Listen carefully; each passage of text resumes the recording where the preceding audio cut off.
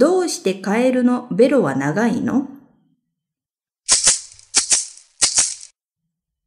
昔々あるところにマリー・シャルロットという名のカエルがいました。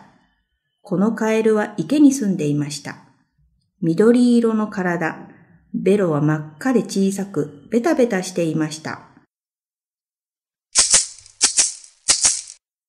ある日、カエルはハエに会いました。ハエちゃん気をつけて、君を食べちゃうよ。とカエルが言いました。やめて、私は何もしていないわ。私を食べちゃいけないわよ。とハエが言いました。カエルはハエを捕まえようとしました。ピシャカエルのベロは石にくっついてしまいました。そこにワニがやってきました。僕が君の背中を引っ張ってあげるよ。とワニが言いました。いいよ、そんな必要は全くないよ。とカエルは大声で言いました。ところがワニはそんなこともお構いなしにマリー・シャルロットを引っ張りました。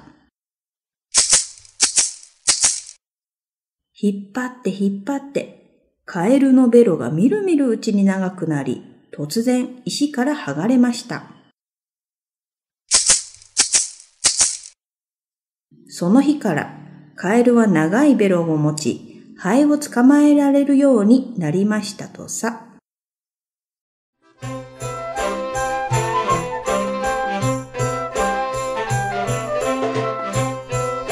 Comenus Reggio 2011-2013 porté par la région autonome de la Vallée d'Ost, Italie, et la mairie du Vigan, France.